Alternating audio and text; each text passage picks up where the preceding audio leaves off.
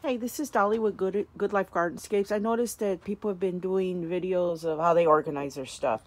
I just wanted to share mine. I can't find things on time some sometimes when I'm looking for a specific fabric. Strangely enough, I know what I have, and so when I'm going to do a, a quilt, I know that I have it but I used to keep everything in tubs. And if you'll notice, I'm walking through here. I have pegboard. I hang these racks up there with little hooks. And boom, anything I need off of there, I know, I more or less know what's there. Also, the fabric is in shelving. And it's all covered in, all wrapped. They're all in bags. And I've done this since I started sewing, I would put stuff in bags so it wouldn't get ruined if anything happened. Uh, we don't get a lot of cold, wet, cold weather where the pipes are going to bust, but it's happened before, strangely enough. And so here I put everything in plastic bags. And let me go down the wall. It's all color sorted. So that's another good thing. Uh, here's brown, yellow, red, and black and then some yellow fell off. But I found a new place to put the stuff that fell off, meaning that there just wasn't any room. And here's all turquoise, any type of blue. That's what these shelves are. And here against the wall, I've when I make yo-yo projects, I cut the yo-yos and then what's ever left over, I put in little containers. And because I had the yo-yo cutouts, it's a four and a half inch circle all over the map.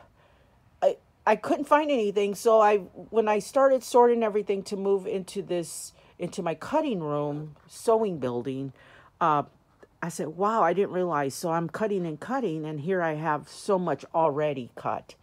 This is a little rack where I put all the little projects in progress. Actually, that purple thing there Let's see, that is actually a quilt that I just haven't put any, I, I left it in there. And these are my other quilts that need to be uh, quilted.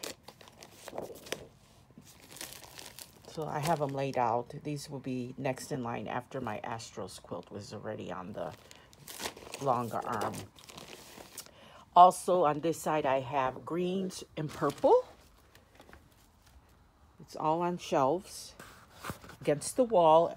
All of the fabric is against the wall so I can go and look through it when I need something. So here it is against the wall. And I was I have a couple of tubs where I haven't been able to get the stuff out, but I did a look at I did look in them to see what what's in there and it's turquoise it's all like an aquamarine blue, all different kinds of prints and then the one of them has red. So here's all the orange that I've against the wall. So everything's against the wall. This is where I keep all, every once in a while, I will do small pieces and I use embroidery thread. People give it to me all the time. So here I was able to sort all the embroidery thread, more or less. And then here is my AccuQuilt cutter. I use this a lot when I do applique.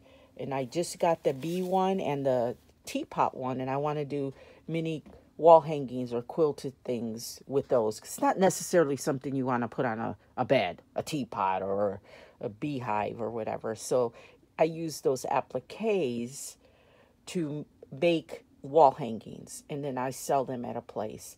And on this wall I have anything that I could possibly want, but it's some it's visible. All of it's visible. Basically in this room I have no drawers. Everything is either going to be on the pegboard or on a shelf. Thanks.